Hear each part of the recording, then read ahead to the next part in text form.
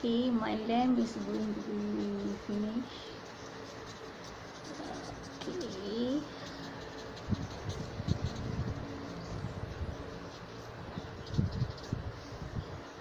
Wow, cantiknya my lamp. Okay.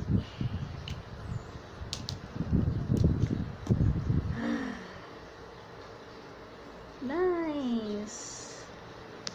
Uh, the result, uh, the lamp I will show you on Deepawali day.